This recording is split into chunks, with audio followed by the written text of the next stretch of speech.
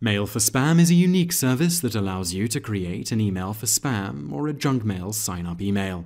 This tutorial will teach you how to use it. Go to mailforspam.com forward slash lang forward slash en. In the center of the page, you will see a white, blue, and yellow box. The blue box will contain at mailforspam.com. To the left of this, in the white box, type the username you want to use. Leave this page or tab open. Now, open a new page or tab and go to your normal email account that you use and click Login. Then send a test email to the address you just created in Mail for Spam.